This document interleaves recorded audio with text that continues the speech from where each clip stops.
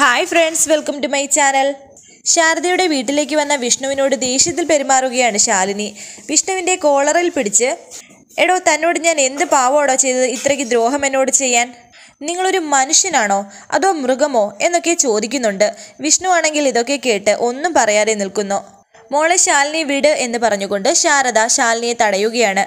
പിന്നെയും ശാലിനി പറയുന്നു മൃഗത്തേക്കാൾ കഷ്ടമാണ് അമ്മേ ഇയാൾ. മൃഗങ്ങൾ ഭക്ഷണത്തിന് വേണ്ടിയാ മറ്റുള്ളവരെ കൊല്ലുന്നത്. പക്ഷേ ഇയാൾ ഇയാൾ എന്ത് നേട്ടത്തിന് വേണ്ടിയാ ഞങ്ങളെ ഇങ്ങനെ ദ്രോഹിക്കുന്നേ? വിഷ്ണു വിഷമത്തോടെ പറയുന്നു ശാലിനി ശാലിനി ഞാൻ എന്ത് ചെയ്തെന്നാ ഇയാൾ ഈ പറയുന്നത്? ശാലിനി പറയുന്നു എന്ത് ചെയ്തെന്നോ? ഇയാൾക്ക് അറിയില്ലേ? എടോ ഇയാൾ ഒരൊറ്റ ഫോൺ കോൾ ആ ഒരൊറ്റ ഫോൺ കോളിലൂടെയാ എന്റെ ശാരികേച്ചിയുടെ ജീവിതം തകർത്തത്. ശാരദ പറയുന്നു മോളെ സംഭവിക്കാനുള്ളതെല്ലാം സംഭവിച്ചു. ഇനി അത് തിരുത്താൻ പറ്റുമോ നമുക്ക്? ശാലിനി പിന്നെയും ദേഷ്യത്തിൽ പറയുന്നു ഇയാൾ കൂടെയുണ്ടെങ്കിൽ അതൊക്കെ പിന്നെയും ആവർത്തിച്ചുകൊണ്ടിരിക്കും അമ്മേ. നമുക്കുണ്ടായ നഷ് നഷ്ടങ്ങളിലെല്ലാം അയാൾ അതെല്ലാം ഇയാളിലൂടെയാണ്. അതിലേറ്റവും ഒടുവിലത്തെയാ ഇത്. ഇയാളെ ജീവിതത്തിലേക്ക് സ്വീകരിച്ചതാ ഞാൻ വലിയ ഏ ഞാൻ ചെയ്ത ഏറ്റവും വലിയ തെറ്റ്. ഇതൊക്കെ കേട്ട് വിഷമത്തോടെ നിൽക്കുകയാണ് വിഷ്ണു. അവസാനം ശാലിനി എന്ന് ശാരദ പറയുന്നു. അത് കേട്ട് ശാരദാമ്മയുടെ നേരെ കൈ ചൂണ്ടി മിണ്ടരുത് എന്ന് ദേഷ്യത്തിൽ ഉറക്കി പറയുകയാണ് ശാലിനി. ഇനി അമ്മ മിണ്ടരുത്. അമ്മയുടെ മോൾക്കുണ്ടായ ദുരന്തം അമ്മ ക്ഷമിച്ചെന്നിരിക്കും. പക്ഷേ എന്റെ ചേച്ചിക്കുണ്ടായ അപമാനം അത് ഞാൻ പൊറുക്കില്ല. വിഷ്ണുവിനെ നോക്കി ദേഷ്യത്തിൽ പറയുന്നു ജീവിത അവസാനം വരെ. ഇയാളോടുള്ള ദേഷ്യവും അമർഷവും എല്ലാം തീയായി വെന്തുരുകിക്കൊണ്ടിരിക്കുകയാ എന്ന് പറഞ്ഞ് പിന്നെയും വിഷ്ണുവിന്റെ കോളറിനെ പിടിക്കുകയാണ് ശാലിനി. ഉള്ളിന്നുള്ള ആ തീയിൽ തന്നെ ഉരുകി തീരും ഞാൻ. എന്നിട്ട് വിഷ്ണുവിനെ പിടിച്ച് തള്ളുകയാണ്. ശാരദ വിഷ്ണുവിനോട് പറയുന്നു മോനെ അവൾ അതൊക്കെ വെറുതെ പറയുന്നതാ. അത് കേട്ട് വിഷ്ണു വിഷമത്തോടെ തലകുലുക്കുന്നു മോം വാ നീയും വാടി എന്ന് ശാരദ പറയുന്നു. ഞാൻ വരുന്നില്ല എന്ന് ശാലിനി പറയുകയാണ്. ഇയാളെ അകത്തു കൊണ്ടുപോയി വിരുന്നൂട്ടി ആട്ടുകട്ടിൽ കിടത്തി താരാട്ട്. ഇയാൾ പാൽ കൊടുത്ത കൈക്ക് തന്നെ കൊത്തിക്കോളും. പക്ഷേ അത് ഞാൻ കാണാൻ നിൽക്കില്ല ഞാൻ ഇറങ്ങുക എന്ന് പറഞ്ഞ് ശാലിനി പോവാൻ ഒരുങ്ങിയപ്പോൾ എടി ഇത് നീ എങ്ങോട്ടാ പോകുന്നത്? വീട്ടിലേക്കാണോ? എന്ന് പറഞ്ഞുകൊണ്ട് ശാലിനിയുടെ കയ്യിൽ കയറി പിടിക്കുകയാണ് ശാരദ. അപ്പോൾ ഇത് എന്റെ വീടല്ല അല്ലേ എന്ന് ശാലിനി ചോദിക്കുന്നു. അയ്യോ അങ്ങനൊരു അർത്ഥം എന്റെ ചോദ്യത്തിനില്ല എന്ന് ശാരദ പറയുന്നു. നീ എങ്ങോട്ടാ പോകുന്നേന്ന്? അത് കേട്ട് ശാലിനി ദേഷ്യത്തിൽ പറയുന്നു. സമാധാനം കിട്ടുന്ന എവിടേക്കാണോ അവിടേക്ക്. അതേതായാലും ഇയാളുള്ള സ്ഥലത്ത് മാത്രം ആവില്ല എന്ന് പറഞ്ഞ് ശാലിനി അവിടെ നിന്നും ഇറങ്ങിപ്പോകുന്നു ശാരിയും പിടിച്ചിട്ട് നിൽക്കാതെയാണ് ശാലിനി പോകുന്നത്. ശ്യാമയും പിറകെ പോയി ശാലിനെ വിളിക്കുന്നുണ്ട്. കുഞ്ഞേച്ചി പോകരുതെന്ന് പറയുന്നു. ശ്യാമയുടെ കൈപിടിച്ച് മാറ്റിയിട്ട് പോവുകയാണ് ശാലിനി. അത് കണ്ട് എല്ലാവരും വിഷമത്തോടെ നിൽക്കുകയാണ്. ഇതൊക്കെ കേട്ട് ആകെ തകർന്നു പോവുകയാണ് വിഷ്ണുവും. വിഷ്ണു ജീപ്പെടുത്ത് പോകുകയാണ് ശാരി പൊട്ടിക്കരഞ്ഞുകൊണ്ട് നിൽക്കുന്നു. ശാലിനി റോഡ് സൈഡിൽ കൂടി ആലോചിച്ചുകൊണ്ട് നടന്നു പോകുന്നു. ശാലിനിയെ തിരകി പിറകെ പോവുകയാണ് വിഷ്ണുവും. ശാലിനി ശാരി ശാരികയുടെ കല്യാണത്തിനായി ഒരുങ്ങി വരുന്നതും വിജയലക്ഷ്മി പറഞ്ഞതും എല്ലാ കാര്യങ്ങളും ഓർത്ത് നടന്നു വരികയാണ്. ശാലിനി നടന്നു പോകുന്നത് കണ്ട വിഷ്ണു ശാലിനിയുടെ അടുത്ത് വണ്ടി നിർത്തുന്നു. എന്നിട്ട് വണ്ടിയിൽ നിന്നും ഇറങ്ങി ശാലിനിയുടെ അരികിലേക്ക് പോകുന്നു. വിഷ്ണുവിനെ കണ്ട ശാലിനി ദേഷ്യത്തിൽ നിൽക്കുന്നു. ശാലിനി നിൽക്ക് എന്ന് വിഷ്ണു പറയുന്നു. വഴിമാറ് എനിക്ക് പോകണം എന്ന് ശാലിനി പറയുന്നു. എങ്ങോട്ട്? അത് പറഞ്ഞാൽ മതി. ഞാൻ കൊണ്ടാക്കാൻ തന്നെ എന്ന് വിഷ്ണു പറയുന്നു. ഞാൻ എങ്ങോട്ട് പോയാലും നിങ്ങൾക്കെന്താ? എന്റെ പിന്നാലെ നടന്ന് ദയവ് ചെയ്ത് എന്നെ ഇങ്ങനെ ഉപദ്രവിക്കരുത്. പ്ലീസ് എന്ന് പറഞ്ഞ് മുമ്പോട്ട് പോവുകയാണ് ശാലിനി. പിന്നെയും വിഷ്ണു ശാലിനിയെ തടഞ്ഞിട്ട് വിഷ്ണു പറയുന്നു ശാലിനി അതിന് ഞാൻ എന്ത് ചെയ്തെന്നാ നീ പറയുന്നത്?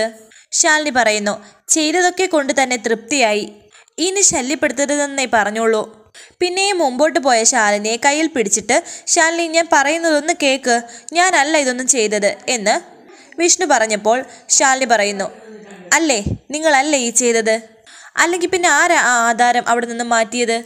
എനിക്കറിയില്ല. ഷോ എന്റെ ദൈവമേ ഞാൻ ഇയാളെ എങ്ങനെയാ പറഞ്ഞ് വിശ്വസിപ്പിക്കേണ്ടത്? ഞാനല്ല. എന്നൊക്കെ വിഷ്ണു പറയുന്നു. അത് കേട്ട് ശാലിനി പറയുന്നു എങ്ങനെ പറഞ്ഞാലും വിശ്വസിക്കില്ല ഞാൻ. ഇയാൾ തന്നെയാ ആധാരം മാറ്റിവെച്ചത്. ഇയാളല്ലെങ്കിൽ പിന്നെ എന്തിനാ ആധാരം മാറ്റി വാങ്ങിവെച്ച് പോളച്ചിനെ ആധാരം വാങ്ങിവെച്ച് പോളച്ചിനോട് കാശ് കൊടുക്കാൻ പറഞ്ഞത്? വിഷ്ണു പറയുന്നു അത് അത് ശാലിനിയെ സഹായിക്കാൻ വേണ്ടി മാത്രമായിരുന്നു? ആധാരം മാറിയത് അറിഞ്ഞിട്ടല്ല. ശാലിനിയുടെ വീടിന്റെ ആധാരമാണെന്ന് കരുതിയിട്ടാ അത് വാങ്ങി വയ്ക്കാൻ ഞാൻ പറഞ്ഞത്. എടോ ഞാനത് വിളിച്ചു പറയുമ്പോൾ അയാൾ വേണ്ട രീതിയിൽ ചെയ്യുമെന്ന് കരുതി. എടോ തന്റെയും ശാരദാമ്മയുടെയും സങ്കടം കണ്ടിട്ടാ ഞാനത് ചെയ്തത്. അത് കേട്ട് ശാലിനി പറയുന്നു ഓ സന്തോഷം. ശാലിനിയുടെയും ശാരദാമ്മയുടെയും സങ്കടത്തിന് ഇപ്പോൾ പരിഹാരമായോ? എടോ ശാരികേച്ചിയുടെ ശാരികേച്ചിക്ക് ആശിച്ച ഒരു ജീവിതം കിട്ടാൻ വേണ്ടി മാത്രമാ തന്നെ പോലൊരു തെമ്മാടിയുടെ ഭാര്യയാവാൻ ഞാൻ തയ്യാറായത്. അത് കേട്ട് തകർന്നുപോയ വിഷ്ണു ശാലിനി എന്ന് വിളിക്കുന്നു. പിന്നെയും ശാലിനി പറയുന്നു ഒരു പാവമാ എന്റെ ശാരികേച്ചി. ഹോട്ടലിന് ചുറ്റുവട്ടമേ അത് ജീവിതത്തിൽ കണ്ടിട്ടുള്ളൂ. കുഞ്ഞായിരുന്നപ്പോഴും ഒരു കളിപ്പാട്ടത്തിനോ ഒരു മിഠായി കഷ്ണത്തിനോ വേണ്ടി ചേച്ചി വാശി പിടിച്ചിട്ടില്ല. ആകെയുള്ളൊരു സ്വപ്നം രാജീവ് സാറുമൊത്തുള്ളൊരു ജീവിതം മാത്രമായിരുന്നു. അതും നേരിട്ട് വെളിയിൽ പറഞ്ഞിട്ട് പോലുമില്ല. അത് ഞങ്ങൾ ഉള്ളിൽ നിന്ന് ചികഞ്ഞെടുത്തതാ.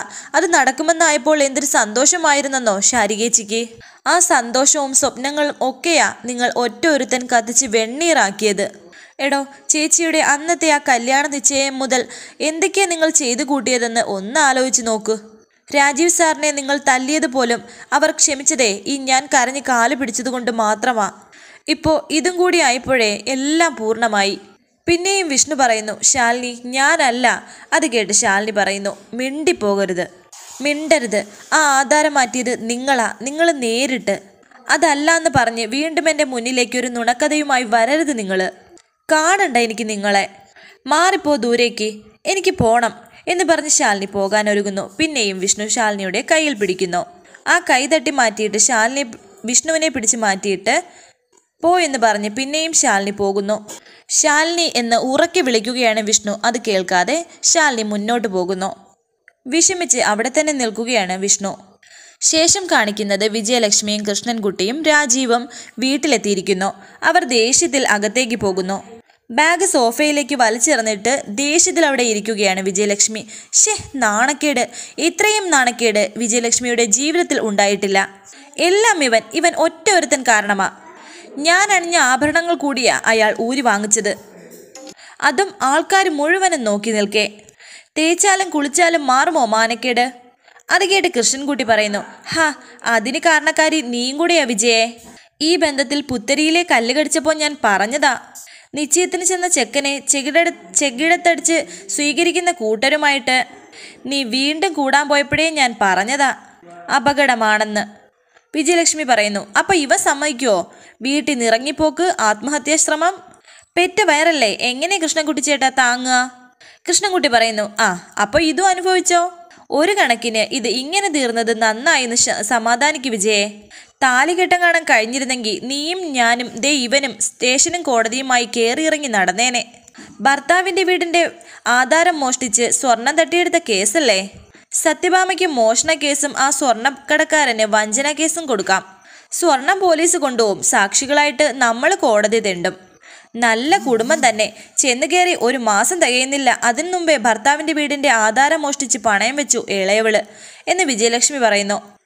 കൃഷ്ണൻകുട്ടി പറയുന്നു ശാരദയുടെ മക്കളെ സ്വന്തം വീട്ടിലേക്ക് ഇതൊക്കെ മുതൽ കൂട്ടുന്നത് അത്രയും ബുദ്ധിയൊന്നും വേണമെന്നില്ല. എന്നാലും ജീവിക്കാൻ അത്യാവശ്യം ബുദ്ധിയെങ്കിലും വേണം.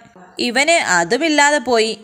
ഇവർ പറയുന്നതൊക്കെ കേട്ട് ദേഷ്യത്തിലിരിക്കുകയാണ് രാജീവ്. പക്ഷേ ഒന്നും മിണ്ടുന്നില്ല. തുടർന്ന് രാജീവിനോട് കൃഷ്ണൻകുട്ടി പറയുന്നു ഡാ ജീവിക്കാൻ പണം വേണമെടാ. നീ പ്രേമിച്ചുകൊണ്ട് നടക്കുന്ന പെണ്ണിനും വീട്ടുകാർക്കും അത് നന്നായി അറിയാം. അതുകൊണ്ടാ അവർ ഈ മോഷണവും തട്ടിപ്പും ഒക്കെ നടത്തുന്നത്. നീയും അതുപോലെ പ്രായോഗികമായി ചിന്തിക്ക്. മഹാറാണി ജ്വല്ലേഴ്സിലെ ചിദംബരൻ മുതലാളിയുടെ മകളുടെ കാര്യമാണ് ഞാനീ പറയുന്നേ. അവളെ കിട്ടിയാൽ ശേഷിച്ച കാലം നിനക്ക് സുഖമായി ജീവിക്കാം.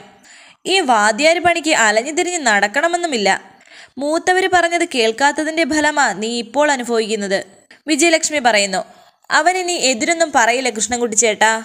നമ്മൾ ചൂണ്ടിക്കാട്ടുന്ന പെണ്ണിനെ തന്നെ അവൻ കെട്ടും. കൃഷ്ണൻകുട്ടി പറയുന്നു എന്നാ ഇപ്പൊ തന്നെ ഇറങ്ങിക്കോ. ഹാ ഈ നശിച്ച നാട്ടിൽ ഇനി ഒരു നിമിഷം കൂടി നിൽക്കണ്ട. എന്തായാലും ഒരുങ്ങി ഇറങ്ങിയതല്ലേ തക്കലേക്ക് പോകുന്ന പോകുന്നതിനിടയിൽ ചിദംബരം മുതലാളിയെ ഞാൻ വിളിച്ച് സംസാരിക്കാം. അയാൾക്ക് സന്തോഷമാകും. അയാളുടെ കുടുംബത്തിൽ പണമുണ്ട്. വിദ്യാഭ്യാസമില്ല. ഒരു കോളേജ് ലെക്ചറെ മരുമകനായിട്ട് കിട്ടുക എന്ന് പറഞ്ഞാൽ അയാൾ പൊന്നും പൂവും ഇട്ട് സ്വീകരിക്കും. തക്കലയിലെത്തി ഏറ്റവും അടുത്ത മുഹൂർത്തത്തിൽ തന്നെ നമുക്ക് പെണ്ണിനെ പോയി കാണാം. എന്താ? നീ കണ്ടിട്ടില്ലല്ലോ ചിദംബരം മുതലാളിയുടെ മോൾ സുബർണയെ? അത് കേട്ട് ദേഷ്യത്തിൽ അവിടെ നിന്നും എണീച്ച രാജീ രാജീവ് ഒന്ന് നിർത്തുന്നുണ്ടോ? എന്ന് ചോദിക്കുന്നു.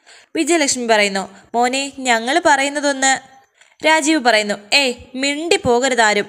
ഇനി ഒരു അക്ഷരം മിണ്ടി പോകരുത് ഇനി എന്താ ചെയ്യാന്ന് എനിക്ക് തന്നെ അറിയില്ല. അതും പറഞ്ഞ് രാജീവ് അകത്തേക്ക് ദേഷ്യത്തിൽ കയറി പോകുന്നു.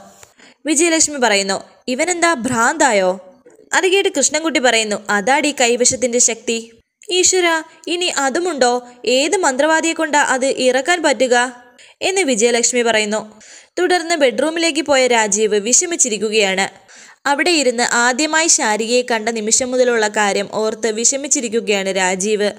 ശേഷം സത്യഭാമയുടെ വീട്ടിൽ പ്രീതി വിഷമിച്ചിരിക്കുകയാണ്. വിഷ്ണുവേട്ടനും ശാലിനിയും എവിടെയാണാവോ? ശാരികയുടെ കല്യാണം നടന്നിട്ടുണ്ടാവുമോ? എന്നൊക്കെ ആലോചിച്ച് വിഷമിച്ചിരിക്കുകയാണ് പ്രീതി. അവിടേക്ക് സത്യഭാമയും സുസ്മിതയും വരുന്നു. പ്രീതി നീ എന്താ കഴിക്കാത്തത്? എന്ന് സത്യഭാമ ചോദിക്കുന്നു. ഒരു പുകഞ്ഞ പുള്ളി പുറത്തു പോയല്ലോ. അതിനെക്കുറിച്ചുള്ള വേവലാതിയായിരിക്കും ആന്റി എന്ന് സുസ്മിത പറയുന്നു. ഞാൻ ആരെയും ഇവിടെ നിന്നും ഇറക്കി വിട്ടിട്ടില്ല. ഇവിടുത്തെ ആധാരം തിരികെ തന്നിട്ട് ഇവിടെ കയറിയാൽ മതിയെന്നേ പറഞ്ഞിട്ടുള്ളൂ. ആധാരം മടക്കി കിട്ടി. അവൾക്ക് എപ്പോൾ വേണമെങ്കിലും ഇവിടേക്ക് മടങ്ങി വരാം. വന്നില്ലെങ്കിൽ സന്തോഷം. അത് സത്യഭാമ പറഞ്ഞപ്പോൾ അത് കേട്ട് സുസ്മിത പറയുന്നു. അക്കൂട്ടത്തിൽ ആന്റിയുടെ മോനും ഇറങ്ങിപ്പോയല്ലോ. കള്ളന്മാർക്കും വ്യാജരേഖ ചമയ്ക്കുന്നവർക്കുമൊക്കെ സപ്പോർട്ടിന് ഒരുപാട് ആളുണ്ടാവും ആന്റി നന്നായൊന്ന് കരഞ്ഞു കാണിച്ചാൽ മതി. ആഭരണങ്ങൾ മുഴുവനും കൊടുക്കാനും മാല ഊരി കൊടുക്കാനുമൊക്കെ ആളുണ്ടാവും. ഇതൊക്കെ കേട്ട് ദേഷ്യത്തിലിരിക്കുകയാണ് പ്രീതിക്ക്. പ്രീതി ദേഷ്യത്തിൽ സുസ്മിതയോട് പറയുന്നു സുസ്മിതേ നിന്റെ ഒരു കുഞ്ഞു മോതിരം പോലും ഞാൻ എടുത്തു കൊടുത്തിട്ടില്ല. പിന്നെ നിനക്കെന്താ ദണ്ണം? അതിപ്പോ ഞാൻ എന്ന് പറയാൻ ഒരുങ്ങിയപ്പോൾ സത്യഭാമ പറയുന്നു മതി മതി തർക്കമൊന്നും വേണ്ട. അവിടേക്ക് വിഷ്ണു കയറി വരുന്നു. പിറകെ ശാലിനിയുമുണ്ട്.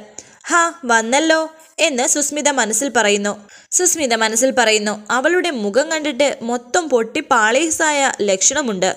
അകത്തേക്ക് വിഷമത്തോടെ കയറി വന്ന ശാലിനിയോട് പ്രീതി ചോദിക്കുന്നു എന്തായി ശാലിനി? അത് കേട്ട് ശാലിനി വിഷമത്തോടെ പറയുന്നു മുടങ്ങി ശാരികേച്ചിയുടെ കല്യാണം. അത് കേട്ടപ്പോൾ സുസ്മിതയ്ക്ക് ഒരുപാട് സന്തോഷമാകുന്നു. സത്യഭാമ പറയുന്നു ഒരു പെൺകുട്ടിയുടെ കല്യാണം മുടങ്ങിയതിൽ എനിക്ക് മനോവിഷമമുണ്ട്. എനിക്കൊരു പെൺകുട്ടി ഉള്ളതാ. ഈ കല്യാണം മുടങ്ങാൻ കാരണം ഞാനല്ലെന്ന് ഓർത്തോണം. ഞാൻ തെറ്റൊന്നും ചെയ്തിട്ടില്ല എന്ന് ശാലിനി പറയുന്നു. സത്യഭാമ പറയുന്നു തെറ്റ് ആർക്കും സംഭവിക്കാം. മനഃപൂർവമോ അല്ലാതെയോ? കയ്യോടെ പിടിക്കപ്പെടുമ്പോഴും അത് സം സമ്മതിക്കുന്നതാ അതിന്റെ മാന്യത. അത് കേട്ട് വിഷ്ണു സത്യഭാമയെ നോക്കുന്നു. വരാനിരിക്കുന്ന പുതുപുത്തൻ എപ്പിസോഡുമായി വീണ്ടും കാണാം. Thank for watching. Please subscribe.